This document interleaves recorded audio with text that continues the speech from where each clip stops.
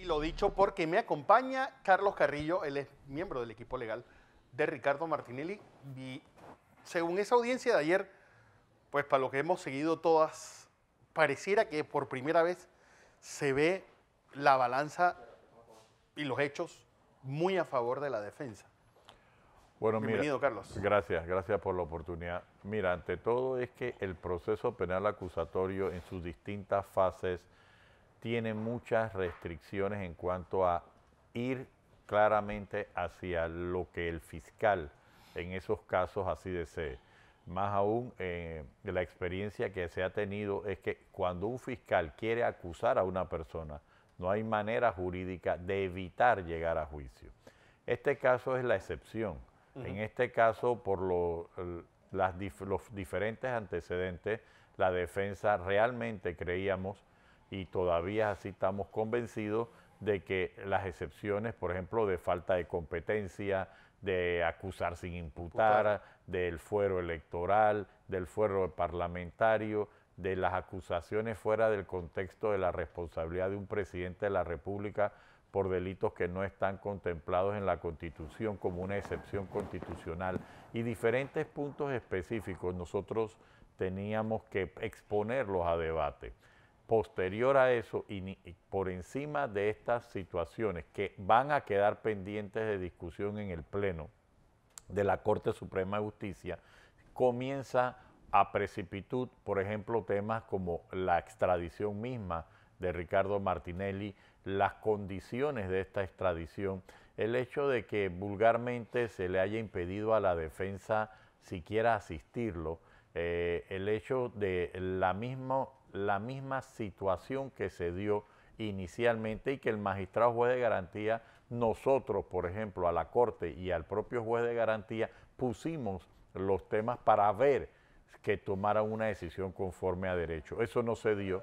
Las circunstancias del momento pasaron por encima de lo que eh, ortodoxamente y al tenor de la ley, a nuestro juicio, debiera haber ocurrido, pero es entendible. Ahora comienza esta fase intermedia. Esta fase intermedia lo que nadie puede negar que es para depurar, para poder hacer específico de qué me vas a acusar y hacer el cuadro o el marco de las condiciones en las cuales se va a debatir en el juicio. Y en eso, por lo menos formalmente, eh, el magistrado juez de garantía, en una posición muy original, eh, ha instado a las partes, a- principalmente a la fiscalía, a escuchar los puntos y calificó de que la defensa en forma meticulosa había desarrollado situaciones que parecieran debieran avenirse a ser corregidas. Correcciones en la acusación para alguien que no, para los que no somos, eh, los que somos legos en derecho, como cuáles. Por ejemplo, cosas eh, básicas, errores, eh, errores de, de- de contexto, pruebas que no tienen un año, o sea, te dicen inspección ocular del 12 de octubre de, y no te ponen el año, falta de especificidad en el objeto de la prueba, falta de explicación de los hechos en sentido de que te dicen sí, eh, eh, intervinieron o afectaron a un grupo plural de personas tal y esto no te establecen qué personas. Eso en cuanto a términos generales, formales, que nosotros pensamos que el magistrado fiscal eh, o en funciones de fiscal va a tener que atenderlas. ¿Por qué? Porque si no vamos a estar en el juicio diciendo, no, la prueba 23, no, que la prueba no es la 23, sino es la 25. Y eso va a traer una incertidumbre al tribunal de juicio que va a conocer de las mismas es argumentativamente. Por otro lado, de fondo, hay dos temas específicos, tres temas más que todo, la que la defensa no ha tenido acceso a las evidencias hasta este momento.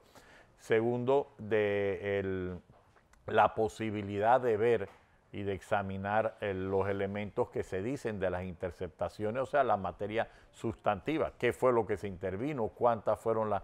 Y el fiscal dice que son 7 mil páginas en siete cuadernillos, pero la defensa tiene derecho al acceso a eso. Y finalmente el testigo protegido, que eh, esto estamos debatiendo en este momento. Ahí está uno de los puntos importantes de la audiencia de ayer fue este tal testigo protegido. Ya a estas alturas del proceso, ¿cuál es la idea de tenerlo todavía escondido, para decirlo mal y pronto. Bueno, eh, nosotros, eh, eh, eso ya es una posición de la Fiscalía, ellos tienen que tomar las explicaciones al juez de garantía de por qué la sustentación de ese testigo protegido. En este momento, porque el proceso nos exige lealtad procesal, la defensa les está adelantando al fiscal, fiscal, esto está mal redactado, esto está mal realizado no queremos que después cuando comencemos a objetar nos digan, oye, ¿y por qué no avisaste para corregirlo? Porque el sistema te obliga a advertir. Hay abogados que eh, dentro, incluso dentro del propio equipo de defensa, que planteaban que dejáramos así los errores para poder llegar con alguna ventaja inesperada al momento del juicio. La decisión de la defensa fue que no, que íbamos a actuar con ética y con lealtad procesal, a pesar de que siempre se trata de decir que hay dilatación. Mira que ayer ya no se habló de dilatar el proceso. Quedó tan evidente la actuación de la defensa de buena fe, de decirle al contrario, oye, si vamos a ir a un pleito, por favor, corrige esto para no tener una situación de confusión que luego nos van a decir, ¿y por qué no lo dijiste? Porque el sistema te obliga a esto. Entonces nosotros creemos que esta posición muy original del magistrado juez de garantía abre un precedente y esperemos que en los próximos días, antes del día viernes, ya se haya podido adelantar algo de acuerdo a los parámetros que dijo el magistrado juez de garantía y ya el próximo martes podamos avanzar en el tema específico, que son las objeciones que se van a hacer a, materialmente a estas pruebas. Porque, ojo, esto que se hizo ayer son solamente advertencias formales, simplemente es decir, oye, esto tienes que corregirlo, te pedimos que nos aclaren, te pedimos que modifiques. Eso es simplemente un introito a lo que viene, que es ahora la parte de la acción resarcitoria de los querellantes y posteriormente vienen las objeciones materiales por parte de la defensa.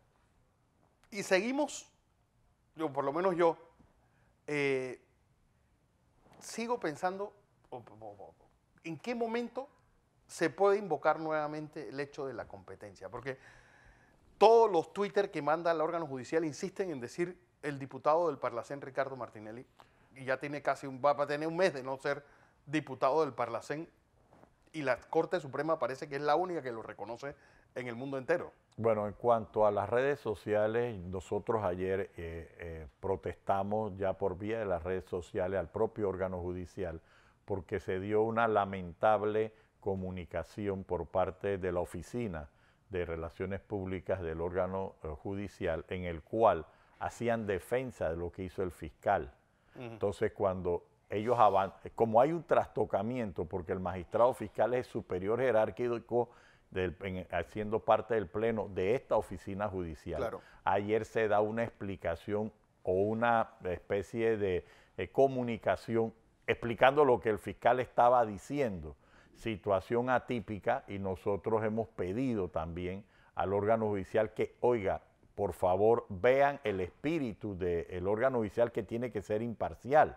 No puede ser que la oficina oficial de comunicación, aparte de lo que tú dices que no refiere al exdiputado, eh, aparte de eso, entonces entre ahora en replicar, repetir y hasta participar implícitamente de opiniones del fiscal en un tema de que ya estamos al borde, para mi juicio, de que el código de conducta de los funcionarios públicos se ha establecido, porque no es posible que una fiscal en un momento determinado pierde un caso y al día siguiente está en las redes sociales o en un canal de, televisión o en un medio de comunicación defendiendo lo que ya perdió en juicio.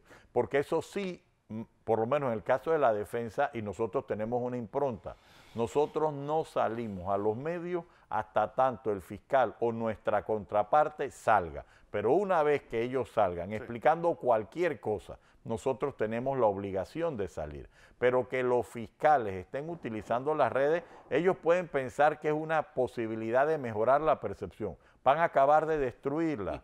¿Por qué? Porque cuando confronten y se hagan más profundos estos juicios mediáticos, entonces la gente va a conllevar unas conclusiones que no le serán agradables al Ministerio Público y el órgano judicial no puede ir en ese mismo sentido. Ellos tienen que tener un código de conducta moderno, acorde a las situaciones, con derecho a la información, con, con respeto al principio de presunción de inocencia, pero ojo, ya por lo menos en la República de Panamá, la discusión pública o los juicios mediáticos están siendo ya obligatorios por parte de actuaciones del Ministerio Público y del órgano judicial. Hay un peligro, el órgano judicial tiene que hacer un alto, pero el Ministerio Público definitivamente va a tener que sufrir las consecuencias del repudio ciudadano cuando comience a saber que el público está en desacuerdo con que una persona es culpable de algo que las pruebas dicen lo contrario. Uno de los temas de ayer también fue estos eh, supuestos o intención de arreglo fuera de juicio con los creyentes eh, particulares.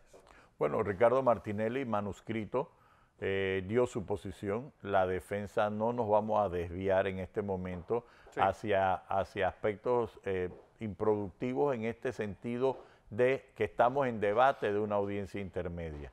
Eh, si bien es cierto, el Código Procesal Penal contempla las posibilidades de acuerdo, ya Ricardo Martinelli lo ha manifestado por escrito.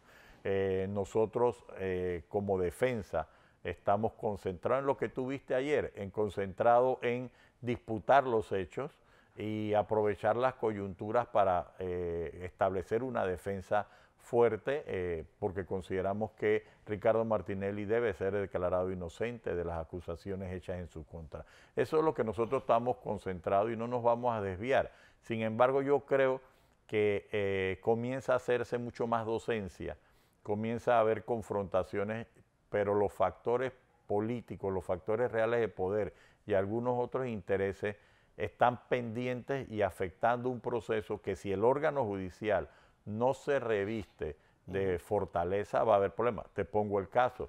Por primera vez en las redes sociales circuló otro fallo de otro caso donde un particular dice que había leído y que incluso estaba bien sustentado el proyecto y que había tres observaciones y que el magistrado firmó con la mano izquierda, nada que le faltó decir cosas y eso es delicado porque ya en el caso de Ricardo Martinelli quedó la percepción de que cambiaron un fallo.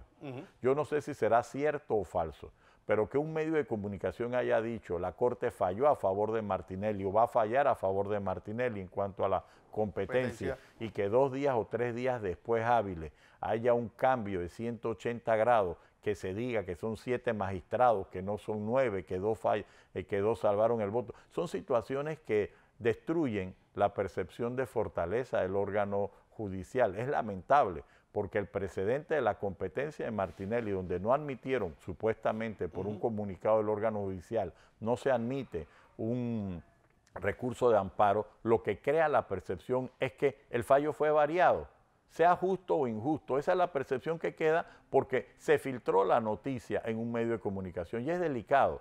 No puede un magistrado o alguna persona creer que va a ganar aplauso por estar rompiendo sus obligaciones fundamentales. Los magistrados tienen que guardar reserva, los funcionarios del órgano judicial tienen que guardar reserva. Si ellos creen que sirviendo de informantes de un medio de comunicación o de otros estados, otros eh, órganos del Estado van a ganar aplauso, estabilidad o algún beneficio, están equivocados. Están destruyendo su, eh, su propia naturaleza o su, propia razón de ser. Y es, y es muy importante que hagamos estos llamados para los efectos que se enrute el proceso.